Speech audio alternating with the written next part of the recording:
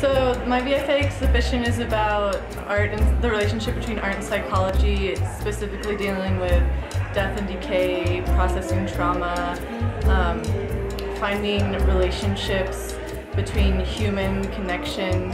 I use multiple mediums, uh, intermingling to kind of soften maybe the glass works with the felt to soften the hard edges.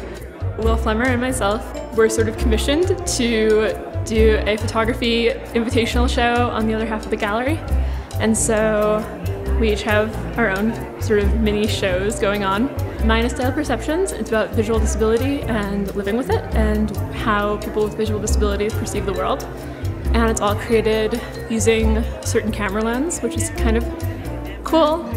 Um, and it's it's a really interesting project for me, and I'm really looking forward to further developing it. I, ch I chose those photos because they're definitely the, the best pictures of the ones I took. And I think they show a wide variety of, or a nice range of um, different species, different environments. They're really just to show the, the animals and the, and the environment of that place. I hope that through my art I can inspire others to go out and utilize art as a method of self-improvement, self-help, however it may work.